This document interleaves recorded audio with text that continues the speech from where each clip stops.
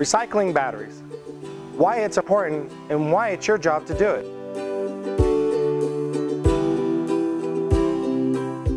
According to a study released in July of 2015, global demand for batteries is on rise 7.7% per year, making it a $120 billion industry by 2019.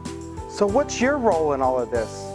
On average, each home has about 21 battery operated devices, and yet only one in six American homes recycles them. And in the UK, about 620 million batteries are discarded each year. So take all those batteries between the US and UK, add them all together, and that's about 48 and a half million pounds of batteries. So now that I've given you all the dirt, you're asking yourself, well, how can I recycle?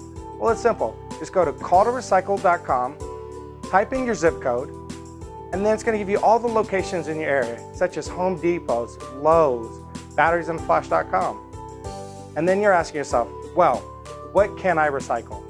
Well, that's easy. If it's rechargeable, it's recyclable, such as vacuum batteries, cordless phone batteries. Bling, bling. Hello? Oh, it's not a cordless phone battery? Okay, well back to what I was saying. Laptop batteries and even cell phones. And it's simple.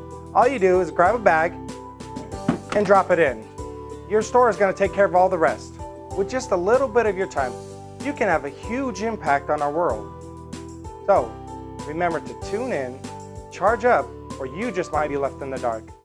Ow!